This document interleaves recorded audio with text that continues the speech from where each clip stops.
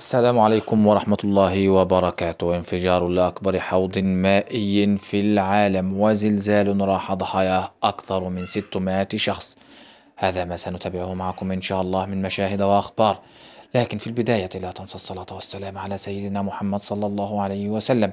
ولا تنسى دعم هذا المقطع بالإعجاب وإذا أردت متابعة ما يحدث في هذا العالم فاشترك معنا في هذه القناة ليصلك الخبر موثقا من مصدره.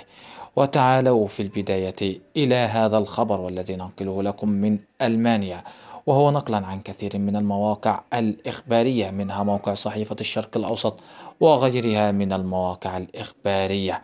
فقد انفجر حوض مائي للأسماك يبلغ ارتفاعه 12 مترا في أحد فنادق العاصمة الألمانية برلين الفخمة مما أدى إلى تدفق أكثر من مليون لتر من المياه مع الأسماك التي كانت تحويها ووقوع جريحين. وتوصف المواقع الإخبارية التي تناول هذا الخبر بأنه أكبر حوض أسطواني في العالم.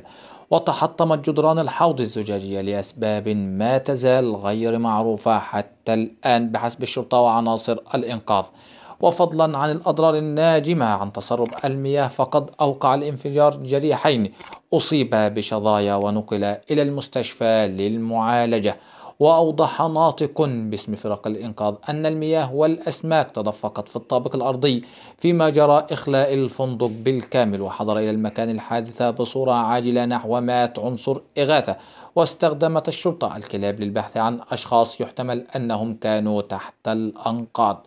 ومن هذا الخبر تعالوا لننتقل إلى خبر آخر وهو نقلا عن موقع بوابة فيتو كما تشاهدون الخبر الآن.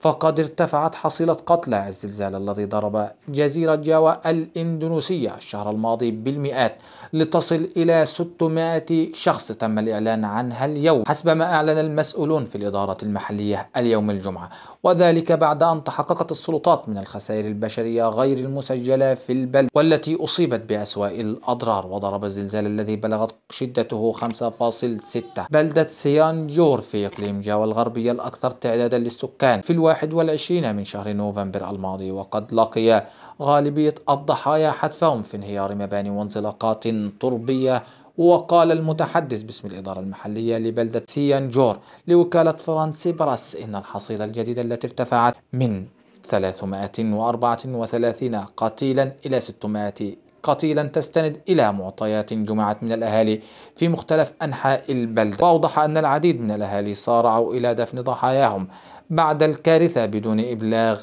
السلطات عن الوفيات وقال إذا توفى أحد الأشخاص غالبا ما يقوم الأهالي بدفنه على الفور وبسبب حالة الذعر فإن الذين ماتوا دفنهم أقاربهم على الفور من دون إبلاغ وكالة الصحة المحلية. في النهاية نسأل الله أن يرحم الموتى ونسأل الله السلامة للجميع.